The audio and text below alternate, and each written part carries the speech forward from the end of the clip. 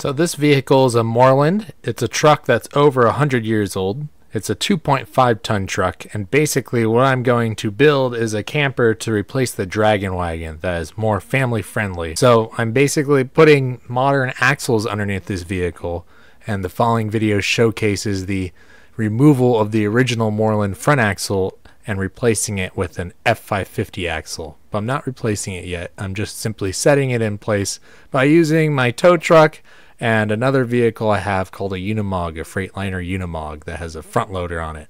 Please enjoy the video. Yeah, we're gonna get this old girl turned on.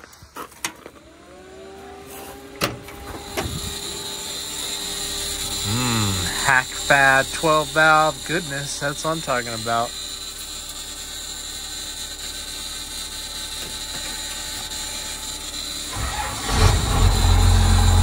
So this vehicle is a 1964 C60 with a 12-valve Cummins swap and an Allison AT545 transmission. I kind of adopted this vehicle off the previous owner, but was manufactured by two brilliant school bus mechanics at the town of Marana here in Arizona.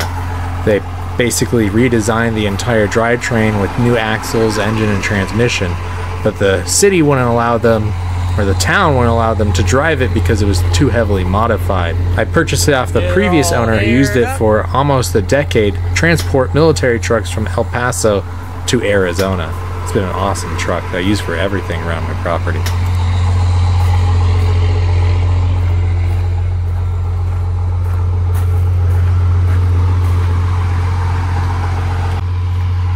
Aired up, ready to hook up to that thing.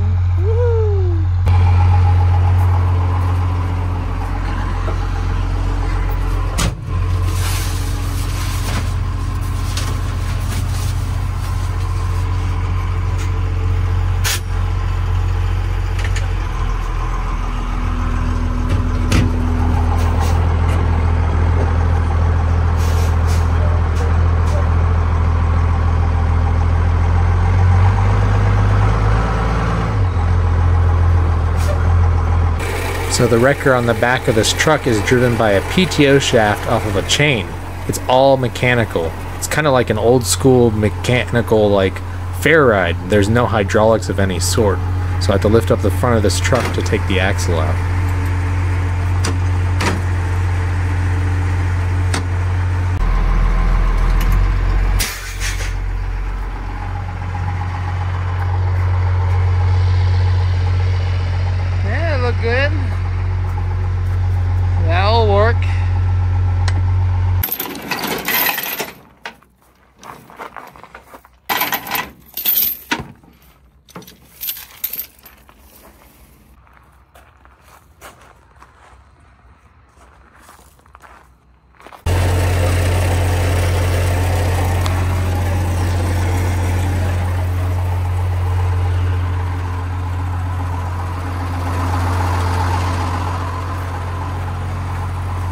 Let's lift her up in the air.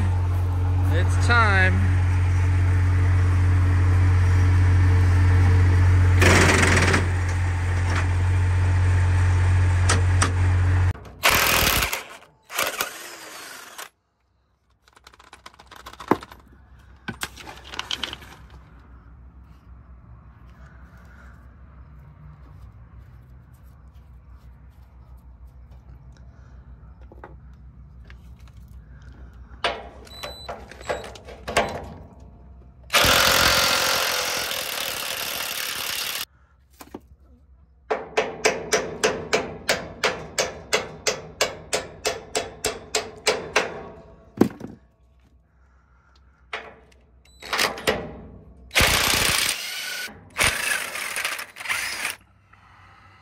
Look at that.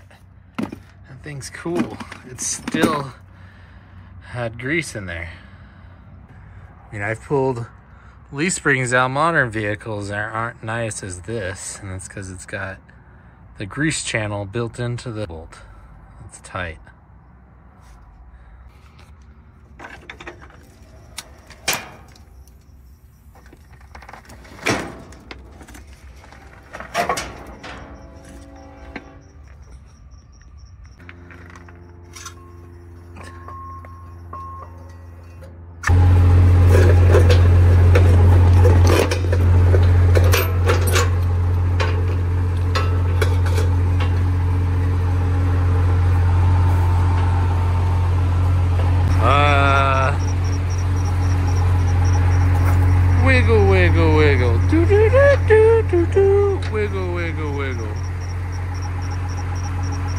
Have enough room to move this thing out.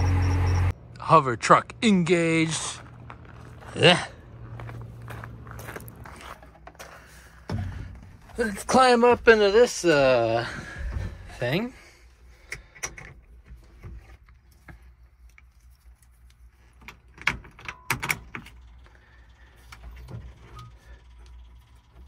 Don't mind the uh, sketch starter here.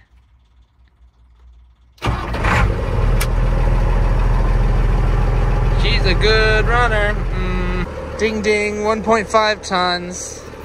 Heck yeah, man. Gonna throw this thing under there. Let's do it.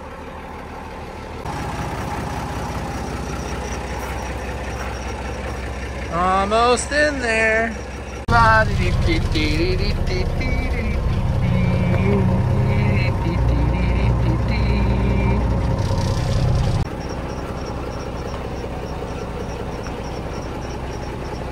All done.